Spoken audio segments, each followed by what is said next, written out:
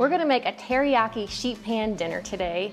And I love it because it's got many of my family favorites. And there we've got salmon, broccoli, pineapple, red peppers. And you know what? It's easy because it's going all on just one sheet pan.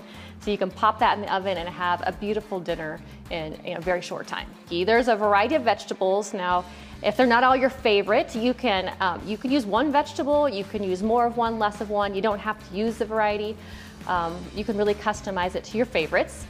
With this recipe, it's one of the reasons it's so simple to put together is because you start with this perfectly balanced sauce. In the PF Chang's line, we've got a range of sauces. Today I'm gonna use a teriyaki because I love how it pairs with the salmon, but the PF Chang sauce line has a lot of different flavors, so you could even experiment with a different sauce if you wanted to.